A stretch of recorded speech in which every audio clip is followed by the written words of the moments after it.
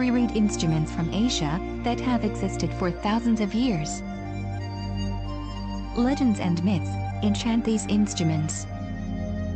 These instruments lead us to the roots of many ethnic minorities still existing today. From China, India, Vietnam, Laos, Thailand, Cambodia, Malaysia, Borneo, Myanmar, Bangladesh, Korea, Japan.